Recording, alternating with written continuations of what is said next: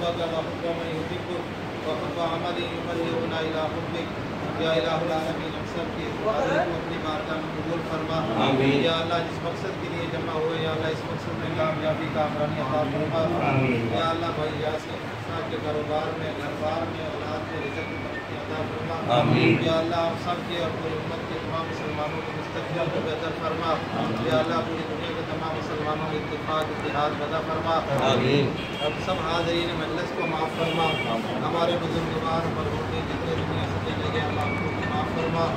या अल्लाह हमारे नसीब का जो रिजक है या अल्लाह उसको जायज़ और हलाल में देके से वापस मिकदार में अता फरमा। या अल्लाह हर किस्म के शर से फसाद से महफूज फरमा। आई हुई परेशानियों को दूर फरमा।